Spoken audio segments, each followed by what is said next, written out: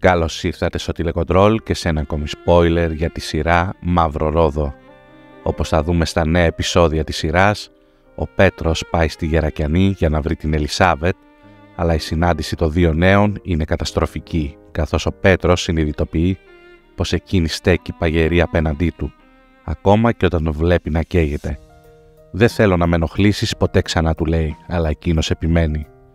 Οι ζωές μας έχουν ενωθεί και τίποτα δεν μπορεί να μας χωρίσει. Σε παρακαλώ, κάνε μια προσπάθεια να με συγχωρέσεις.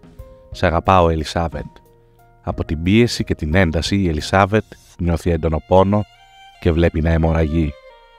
Ο Πέτρος αναστατωμένος την πάει στο νοσοκομείο και τρέμουν μη συμβεί κάτι κακό.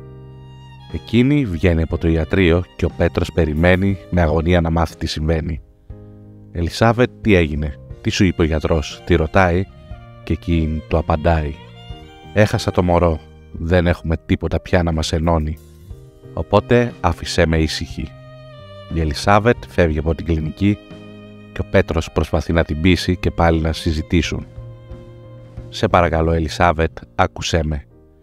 Με κατηγορείς ότι εγώ ευθύνομαι» τη ρωτάει και εκείνη έχει πάρει την απόφασή της να μην του μιλήσει ξανά ποτέ για τίποτα. Εκείνος απελπίζεται. Στο μεταξύ, ο Γεράσιμος έχει εξαφανιστεί και όλοι τον ψάχνουν στην κλινική. Αλλά εκείνος θέλει να επιστρέψει στο μοναστήρι κοντά στην Ελισάβετ.